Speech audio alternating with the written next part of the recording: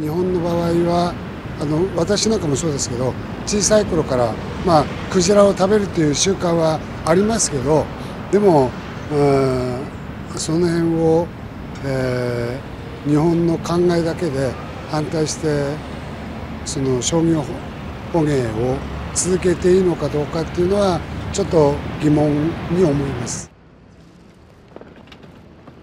でもうちの親とかはやっぱ出ててそれ食べてた風習があるので、まあ、食べるのが当たり前というかだったのでそうですね。ありましたねそういうの。は、えー、クジラやっぱあんまなんだろうな食べる収集というかあんまりないというかうんなんかやっぱ反対というか賛成ではないですねあんまり。はい。